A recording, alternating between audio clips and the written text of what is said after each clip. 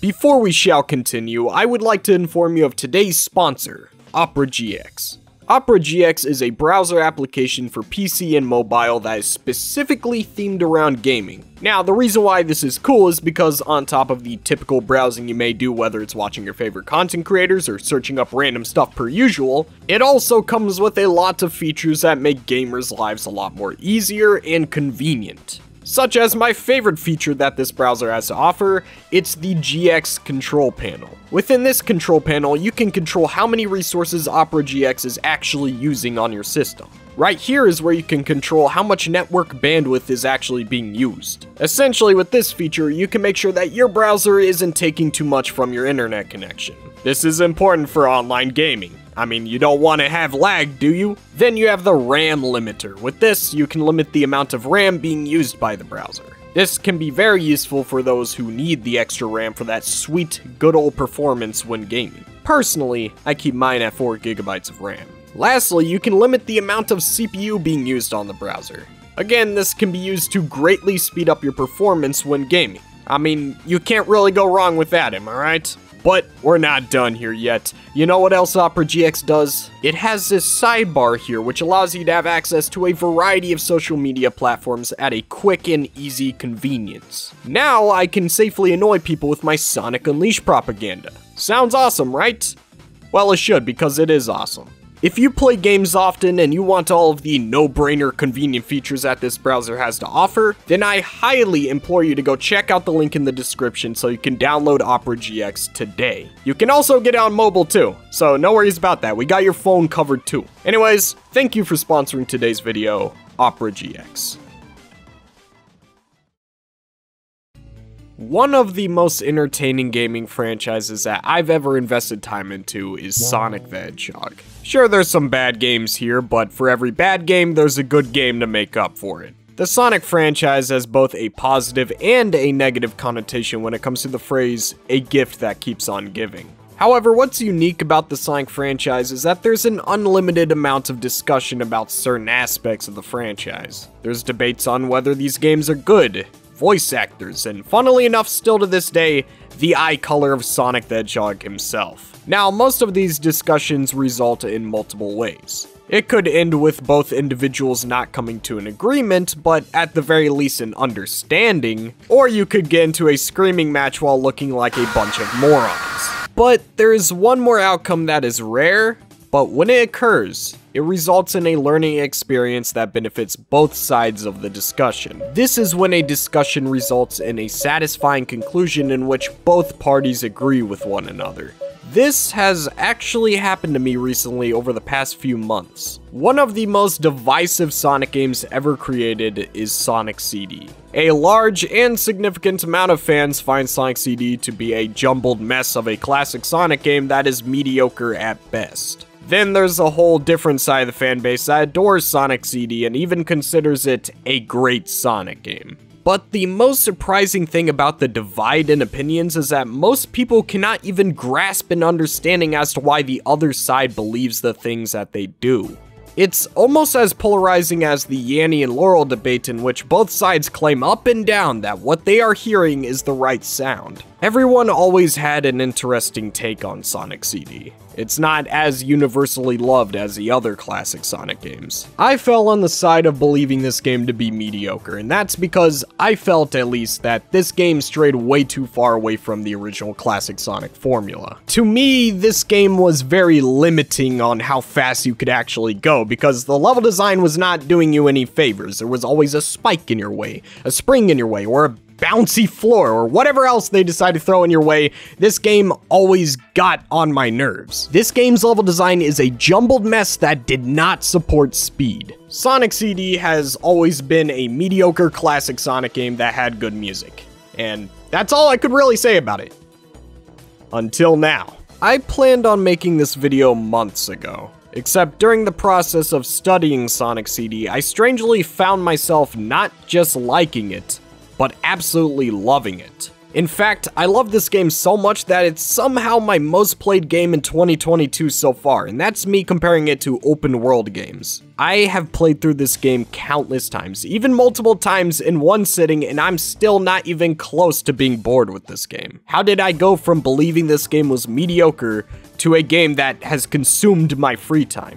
Well, there's a lot to go over, so make sure to sit down, grab a drink, and relax because today, we're going to be talking about Sonic CD.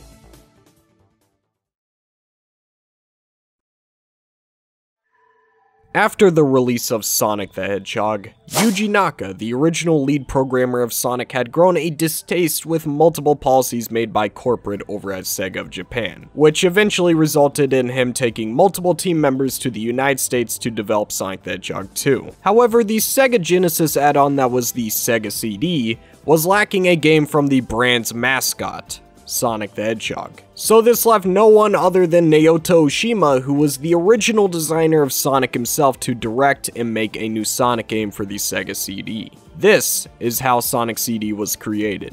It also explains the difference in design philosophy that Sonic CD had when compared to Sonic the Hedgehog 2. Sonic CD was more focused on using Sonic's physics for exploration, while Sonic 2 used Sonic's physics by creating level design tailored around pushing you forward. Both of which I've come to enjoy in their own respective ways, however I do have a preference, and we'll get to that later. But all in all, you can really feel the strong personality that Naoto Oshima's team brought to Sonic CD, which resulted in a very bold and unique tone and atmosphere that not many other Sonic games have. This game heavily leans into this shonen styled tone and oh, oh man, it, it is peak fiction. Whenever I think of classic Sonic, I think of Sonic CD. I just felt that this game overall captured the correct spirit and characterization that Sonic should follow. You get to see my first reason as to why in the beginning animated cutscene. It shows Sonic running around free in a large grassy environment until he eventually runs into Little Planet, which is the main setting of the game. This planet appears only once a year for a limited amount of time.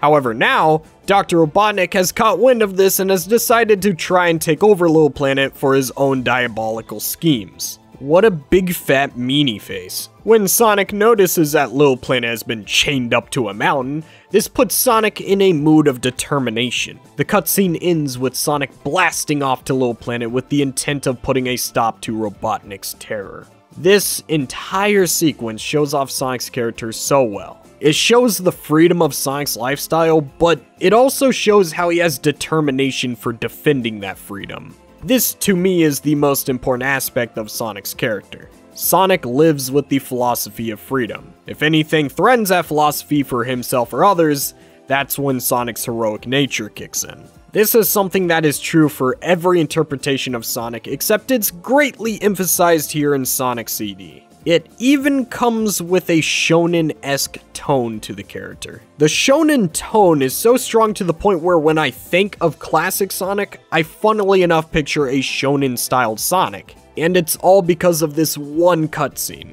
This is just cool. This is why I love classic Sonic. What makes it better is this anime slash shonen tone continues throughout the rest of the game in the form of the story, the soundtrack, and the environments of the zones. All of which are great in my opinion. Starting off big with the environments, this entire game is filled to the brim with a unique, exaggerated art style. In Palm Tree Panic, you see mountains that reach up to the clouds. In Quartz Quadrant, you see a nice cave with quartz and other crystals spread out everywhere. In Stardust Speedway, you're running on a highway with a beautiful city in the background. These are great environments, and the soundtracks for these stages support the most upbeat action. The cool thing is that these environments, for the most part, are really aesthetically pleasing.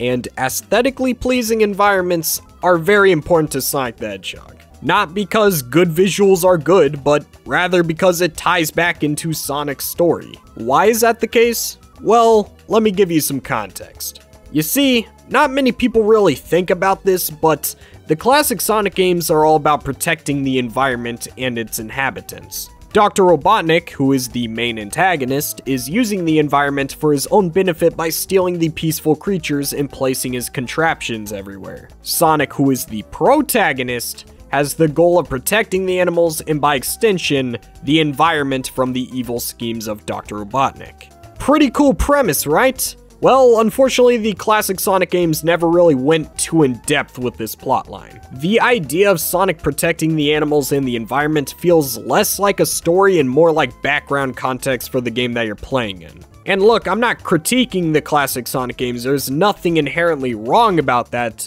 but they could always do more. And that's exactly what Sonic CD did. Sonic CD addresses the main purpose of Sonic's journey. In the game, you travel across many zones that take place on Little Planet. Most of these zones are aesthetically pleasing, except unfortunately they have been taken over by Dr. Robotnik. So now the main objective is for Sonic to save the environment. And there are multiple outcomes to this. If you wish to save the zone, you can go back to the past which will reveal what the zone looked like before Dr. Robotnik fully took over. If you destroy all of the generators and Metal Sonic holograms, it will save the future zone from Dr. Robotnik's wrath. This is what we call the good future. The good future shows the environment that Sonic is playing in, except without the effects of Dr. Robotnik taking control. These environments look absolutely beautiful, and the soundtracks for these stages invoke a sense of happiness that no other game can capture.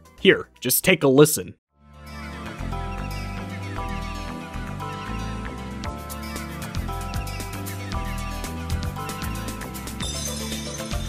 In Quartz Quadrant, it's no longer a mineshaft and now it has some kind of futuristic domes in the background. In Collision Chaos, upon reaching the good future, you can see a futuristic city replacing the giant forest that used to be in the background. Both of these environments are beautiful and they're such a great reward for going through the effort of time traveling. Also, side note, I cannot be the only one who gets Dragon Ball vibes from the futuristic city settings, right? Like, I could totally see that being West City.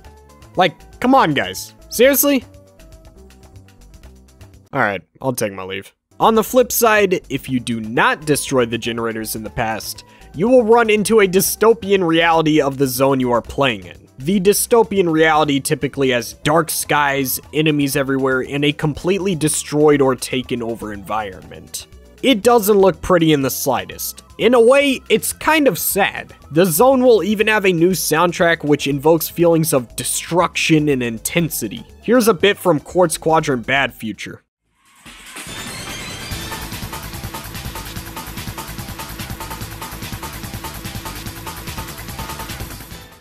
Sometimes a soundtrack even makes you feel guilty, especially with Palm Tree Panic. In the good future, Palm Tree Panic has such a happy soundtrack with such a beautiful environment. The music even includes children cheering out of happiness, yay! However, in the bad future of Palm Tree Panic, the zone is completely destroyed with all wildlife and plants dead. Then, in the soundtrack, you can hear the cheers of the children becoming corrupted just like the reality that Sonic is living in. Take a listen.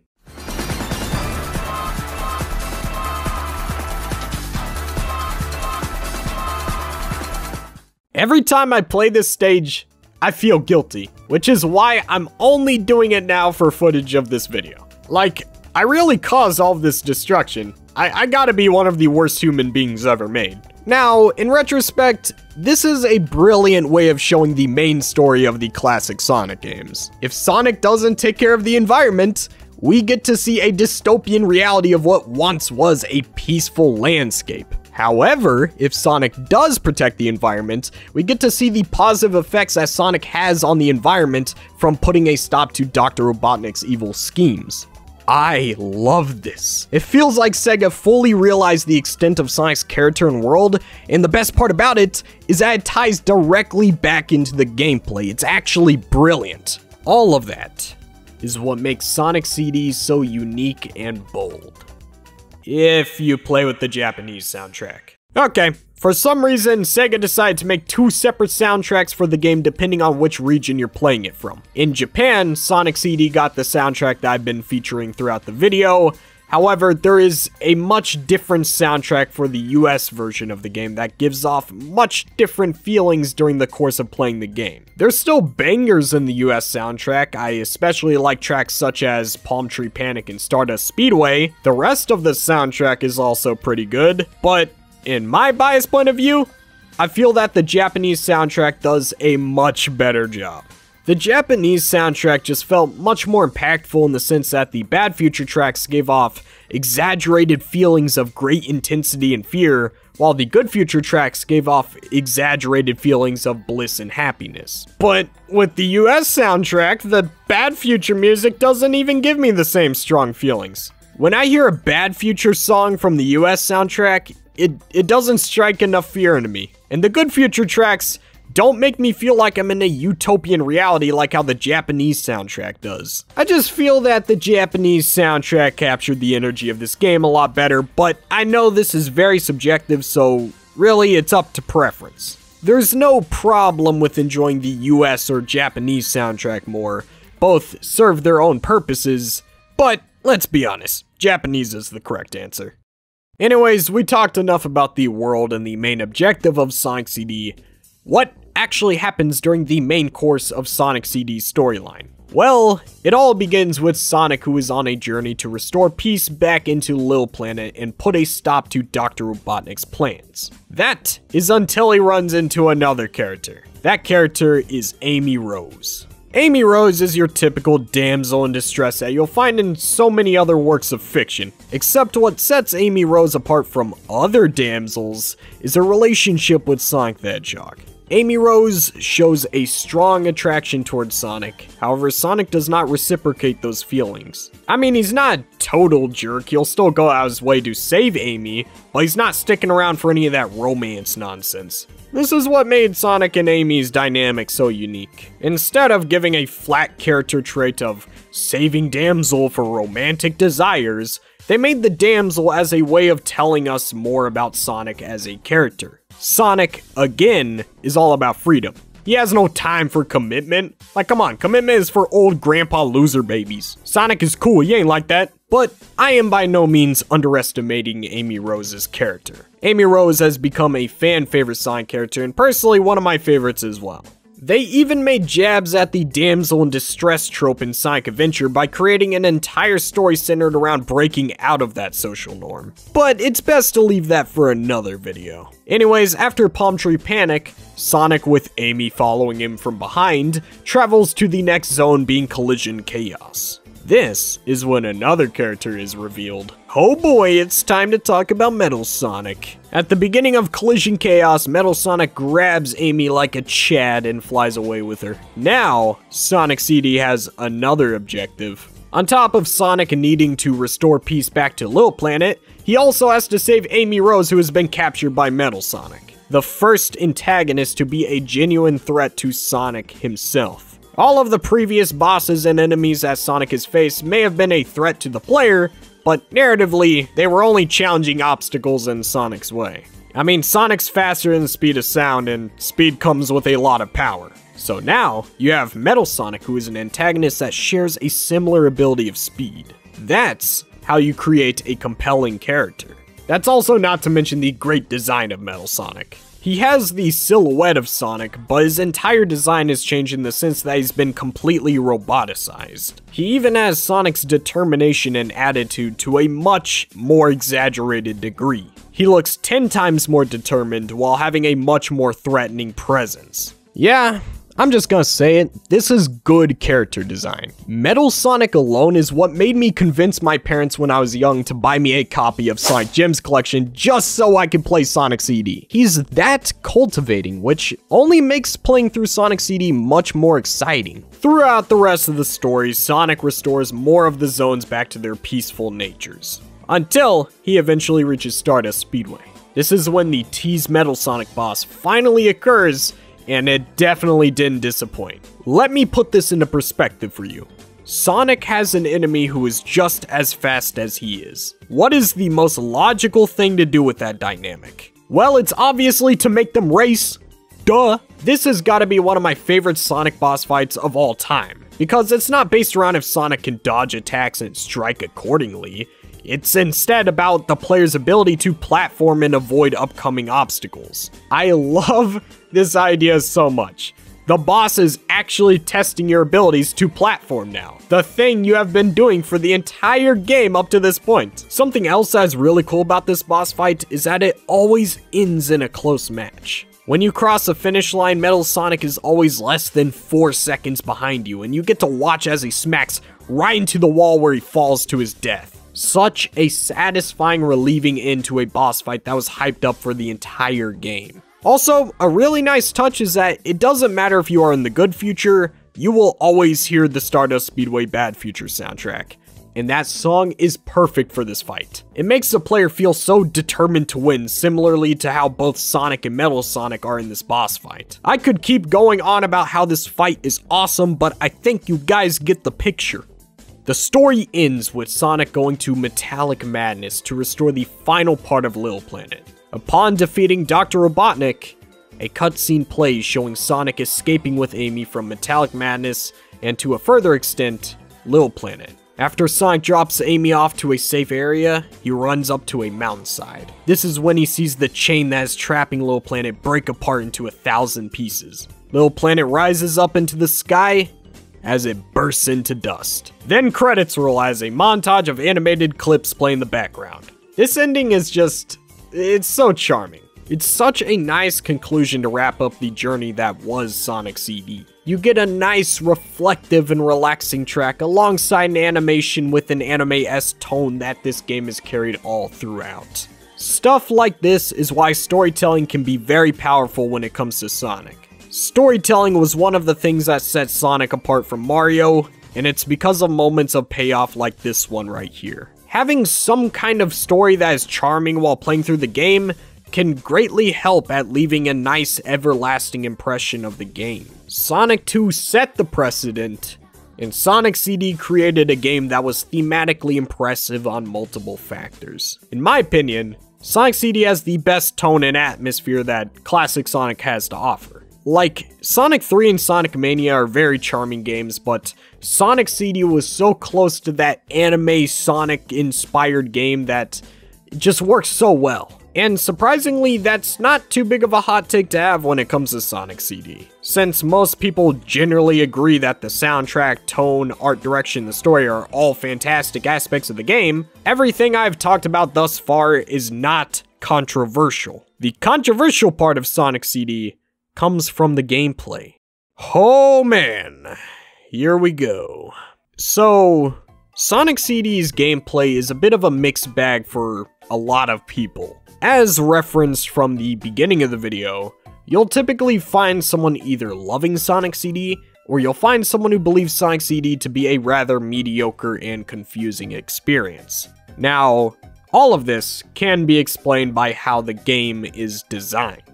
Sonic CD is structured similarly to every other classic Sonic game in the sense that you start at the left side of the stage and the objective is to cross the signpost at the right side of the stage. However, Sonic CD is a lot different from the other classic Sonic games because the level design is much larger vertically. The decision to give more verticality to the level design was made to compensate for the amount of exploring that Sonic would be doing in the game. As previously mentioned, the goal of exploration in this game is to go back to the past and find and destroy all of the generators and Metal Sonic hologram placements. If you were to do this in every level, it would result in getting the good ending in every zone. Now, that is just one option to completing this game successfully and obtaining the good ending. Another way is if you decide to get the time stones, which you can obtain by completing the special stages. You enter the special stages in the same way as the first Sonic the Hedgehog. You must gather 50 rings and then bring them to the end of the stage,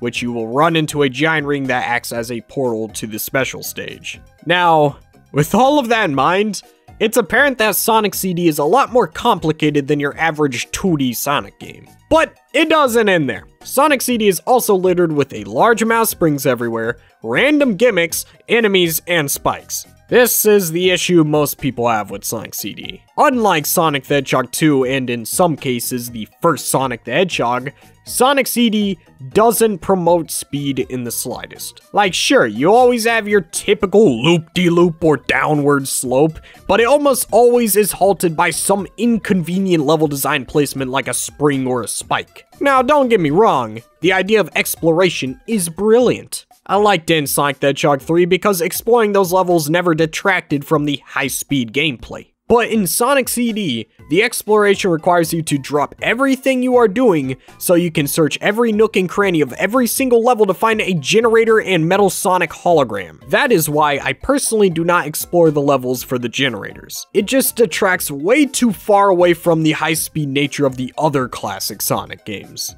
I think Sonic CD is best played when going for these special stages.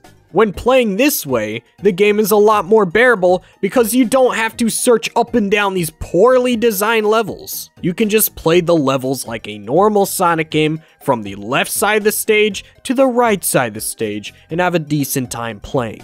It's still not great because you still have to deal with the annoyance of the level design, but it's a pretty alright experience for the most part.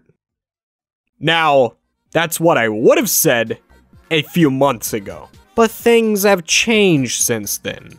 I was right there with the same belief as a lot of Sonic fans that this game was just a jumbled, mediocre mess of a Sonic game. And I was planning on making a Sonic CD review where I just stated that. But something was just irking me. How can anyone love this game? What about this game is fun? I always like to analyze video games and break down what makes them enjoyable and what makes them not enjoyable. However, with the case of Sonic CD, I just could not bring myself to understand how someone can say that this is a great game. So, before I started making my review on Sonic CD, I decided to hear the other side out. I was going to listen to fans who love Sonic CD. With that said, I made a post on Twitter asking what people loved about Sonic CD. In addition, I asked, what makes the level design good? The responses I got were interesting to say the least. Everyone had different reasons for loving the game, but the most common things I kept seeing is people saying that the exploration was the best part of Sonic CD. And that's nothing out of the ordinary, I've heard the same thing from every other Sonic CD fan. Everyone who loves this game always talks about the exploration. I always ignore it because... What does that even mean? How are you even supposed to explore in this absurd level design? Well, I wanted to know what exploration really meant. So I went back to replay Sonic CD to see exactly what everyone was talking about. Except this time, I played Sonic CD with a twist. In this playthrough, I was not targeting these special stages. I was going to locate and destroy all of the generators. And on top of that, I was going to play through this game four times in one sitting so I can memorize every single generator location. Admittedly, this seemed like it was going to suck. Especially since I wasn't going to search up where the locations were unless I had zero clue of where to go. So I found most of the generators and found out how to time travel in every single zone almost all by myself. Yeah. Now, upon my first playthrough, I was spending most of it exploring these levels trying to find the generators. After searching extensively through these levels, I found myself to be having a pretty good time. I was actually pleasantly surprised at how much I was enjoying the action of finding everything in these stages. Because there were a lot of times where I had to get really creative on how I can manipulate slopes or springs to reach higher areas. Something that I will go in a bit more detail a little bit later. Now, after the first playthrough, I already felt my opinion of Sonic CD changing. I found myself enjoying the new concept of exploring these levels to great lengths, but I ultimately felt like Sonic CD was still a far inferior experience when compared to the other 2D Sonic games. That was until the second playthrough. Since I played through the game multiple times in one sitting, it meant that I could remember all of the generator locations. And upon my second playthrough, it was like an entirely different experience from the first. I already knew where all the generators were, so now in this playthrough, it was a matter of how I would reach the generators. How will I navigate the level design in a smart and efficient way so I can complete these levels faster? That was my new objective with Sonic CD, and it made me start playing Sonic CD with a new set of eyes. I started to appreciate the level design. Like, the level design is genuinely brilliantly made. I'm not going crazy here. I'll even say that I prefer Sonic CD over Sonic 2 now. It's not even a competition in my eyes. Yes, I know I sound crazy. I'm not crazy. Let's talk about it. A common critique is that there are lots of obstacles that constantly hold you back. But that's kind of the point. Here is your objective and how you explore in Sonic CD. Your main objective is to manipulate the level design to be in your favor for time travel and navigation for the generators as to how you go about navigating these levels is completely up to you and there are so many different ways you can go about successfully playing the game. When time traveling, Sonic has to hit a past or future signpost based on where he wants to go, then he has to go fast for a specific amount of time. And at first this was a frustrating feature, but now I understand the brilliance of it. Like, the game starts making you actually think like Sonic the Hedgehog. When you have to time travel, you start looking at slopes and springs to see what parts of the level design can help Sonic move the fastest for an extended period of time. You start paying attention to the things around you, like, oh hey, there's two springs next to each other, I can use this spot to time travel to the past. Or, oh look there, it's a long pathway. I bet if I super peel out, I'll have enough room to time travel. It's all up to the player on how you go about completing the objective.